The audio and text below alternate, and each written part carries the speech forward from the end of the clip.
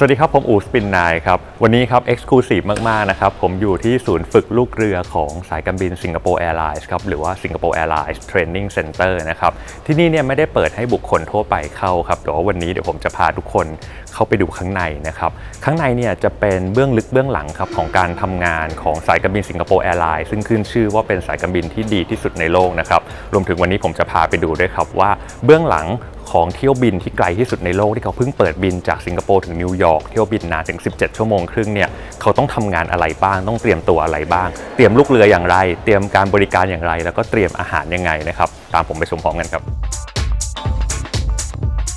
Singapore Airlines ที่ขึ้นชื่อว่าเป็นสายการบินที่ดีที่สุดในโลกประจำปีนี้เนี่ยด้วยรางวัล World's Best Airline จาก Skytrax Awards ครับ วันนี้เนี่ยผมมีโอกาสได้เข้าเยี่ยมชมศูนย์ฝึกลูกเรือของ Singapore Airlines ที่ตั้งอยู่ไม่ไกลจากสนามบินสิงคโปร์ชางงีนะครับ ลูกเรือนักบินแล้วก็เจ้าหน้าที่ต้องผ่านการฝึกอบรมตามหลักสูตรเข้มข้นครับ ทั้งภาคทฤษฎีแล้วก็ปฏิบัติจริง มีแบบจำลอง cabin เครื่องบินหลากหลายรุ่นเลยนะครับที่ศูนย์ฝึกแห่งนี้ ให้ลูกเรือสามารถฝึกการให้บริการ ท่าทางการเสิร์ฟ การเดิน การเข็นรถจำลองสถานการณ์ต่าง ๆ ที่อาจเกิดขึ้นบนเครื่องบิน หรือเกิดกับผู้โดยสารครับ มีเทรนเนอร์นะครับคอยสอนอย่างใกล้ชิด มี cabin ในชั้นประหยัด ชั้น Premium Economy ชั้น Business Class ที่ตอนนี้เนี่ยมีที่นั่งหลายแบบมากๆ รวมถึงที่นั่ง First Class แล้วก็ Suite Class แบบใหม่ครับที่มีเตียงนอนในตัว ก็มีจำลองไว้นะครับ ลูกเรือเนี่ยจะได้เรียนรู้การทำงานของที่นั่งอย่างละเอียด แล้วก็สามารถไปแนะนำผู้โดยสารต่อได้นั่นเองครับ ส่วนสำคัญที่สุดในการฝึกลูกเรือ แล้วก็การให้บริการของสายการบินเนี่ยก็คือเรื่องของความปลอดภัยนะครับ ที่ศูนย์ฝึกแห่งนี้เนี่ยมีแบบจำลองการอพยพผู้โดยสารในกรณีฉุกเฉิน หรือว่า Cabin Emergency Evacuation Trainer แบบ full scale เลยครับ ลูกเรือทุกคนเนี่ยต้องผ่านการฝึกการอพยพผู้โดยสารจากเครื่องบินทั้งลำให้ได้ภายในเวลา 90 วินาทีนะครับไม่ง่ายนะครับ และในห้องที่ติดกันเนี่ยยังเป็นสระว่ายน้ำจำลองที่ไม่อนุญาตให้ถ่ายรูปออกมาครับเพราะว่ามีลูกเรือกำลังฝึกอยู่สระนี้เนี่ยผมเล่าให้ฟังได้นะครับว่านอกจากจะฝึกทักษะการว่ายน้ำแบบมีเสื้อชูชีพใส่อยู่ การปีนขึ้นแพยางฉุกเฉิน ตัวสระเนี่ยยังสามารถจำลองคลื่นทะเลจริง ๆ ที่จะเพิ่มความยากขึ้นไปได้อีกด้วยแหละครับ และลูกเรือทุกคนต้องกลับมาฝึกที่นี่ใหม่ทุกปีนะครับเพื่อให้ผ่านการรับรองในการทำงานต่อไปได้ครับ เหตุผลหลักของการเข้ามาเยี่ยมชมศูนย์ฝึกลูกเรือของ Singapore Airlines ของผมในครั้งนี้เนี่ยคือการที่ Singapore Airlines เพิ่งจะเปิดให้บริการเที่ยวบินที่ไกลที่สุดในโลก จากสิงคโปร์รวดเดียวถึงนิวยอร์กแบบไม่แวะพักครับ เที่ยวบินนี้ยาวไกลถึง 18 ชั่วโมงครับ ข้ามไปยังอีกฝั่งของโลกโดยเครื่องบินรุ่นพิเศษ Airbus A350-900 ULR ที่ย่อมาจาก Ultra Long Range ที่ตอนนี้มีเพียง Singapore Airlines สายการบินเดียวเท่านั้นครับ ที่มีเครื่องบินรุ่นนี้ ผมมีโอกาสได้พูดคุยกับหัวหน้านักบิน A350 หรือว่ากัปตันลีอองนะครับ ที่นำเที่ยวบินปฐมฤกษ์นี้เนี่ยให้ข้อมูลกับเราว่า การกลับมาบินเที่ยวบินที่ไกลที่สุดในโลกของ Singapore Airlines อีกครั้งด้วยเครื่องบินที่ทันสมัยมาก ๆ อย่าง A350-900 ULR เป็นการเปลี่ยนแปลงอุตสาหกรรมการบินครั้งใหญ่ครับ เพราะมันจะช่วยประหยัดเวลาในการเดินทางข้ามโลกได้อย่างมาก มีการใช้เชื้อเพลิงเฉลี่ยที่ต่ำลงกว่าเดิมมากครับ แล้วก็เส้นทางก็ยืดหยุ่นมากๆด้วยครับ จากการคำนวณด้วยเครื่องมือที่ทันสมัย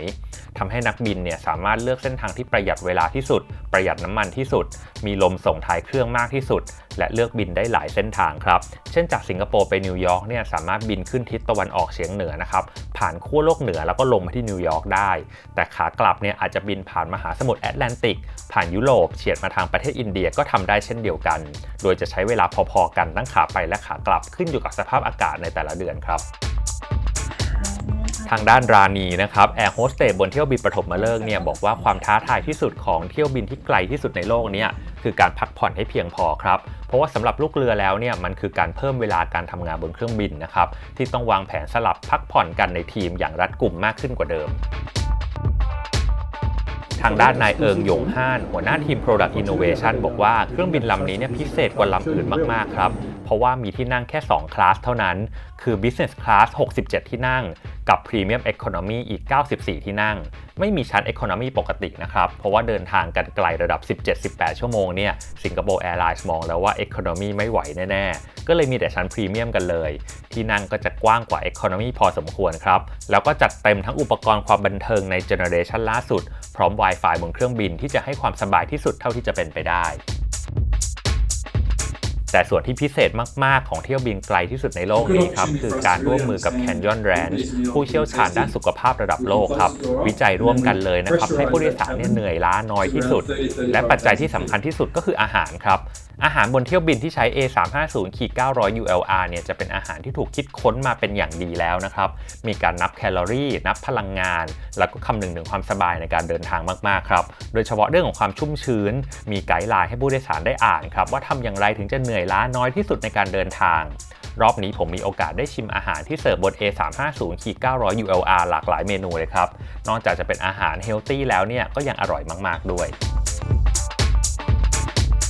ปิดท้ายด้วยการทัวร์ครัวการบินของแซนะครับที่เป็นครัวหลักของอาหารเครื่องบินที่สนามบินสิงคโปร์ส่วนนี้เนี่ยไม่อนุญาตให้ถ่ายภาพออกมาครับแต่ว่าเล่าให้ฟังได้เช่นกันนะครับว่ามันคือโรงงานที่ใหญ่ไม่แพ้โรงงานประกอบรถยนต์นะครับ มีการแบ่งครัวออกเป็นสัดส่วนนะครับ เช่นครัวมุสลิม ครัวจีน ครัวญี่ปุ่น ครัวฝรั่ง ครัวของหวานนะครับ แล้วก็แยกครัวพรีเมียมสำหรับผู้โดยสาร business class แล้วก็ first class ออกมาเป็นพิเศษ มีการจัดการที่เป็นระบบระเบียบมาก ๆ มีขั้นตอนความปลอดภัย แล้วก็ดูแลความสะอาดทุกจุดครับ และทั้งหมดนะครับจะถูกประกอบร่างออกมาเป็นอาหารใส่ในรถเข็น เตรียมโหลดขึ้นเครื่องบินในแต่ละเที่ยว รองรับได้มากถึง 60,000ถึง70,000 มื้อต่อวันเลยครับ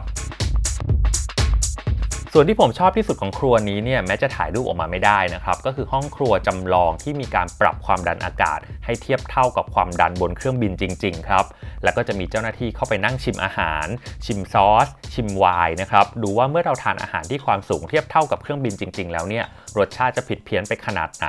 แล้วก็สามารถทำการปรับสูตรให้เหมาะสมกับอาหารบนเครื่องบินโดยเฉพาะ จะได้มั่นใจได้ว่าอาหารที่เสิร์ฟบนเครื่องบินเนี่ยยังอร่อยอย่างที่เชฟเนี่ยตั้งใจที่จะทำเอาไว้นั่นเองครับ เรียกว่าเขาคิดมาดีมาก ๆ เลยนะครับ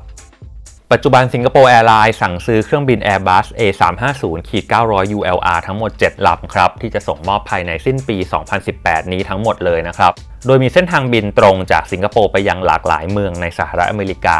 เริ่มจากสิงคโปร์นิวยอร์กสิงคโปร์ลอสแอนเจลิสและสิงคโปร์ซานฟรานซิสโกครับกว่าจะมาเป็นสายการบินที่ดีที่สุดในโลกอย่าง Singapore Airlines ครับ นี่คือเบื้องลึกเบื้องหลังทั้งหมดนะครับ ที่เกิดขึ้นภายใน Singapore Airlines Training Centre แห่งนี้ครับ ผมอู๋ spin9 ครับพบกันใหม่คลิปหน้า สวัสดีครับ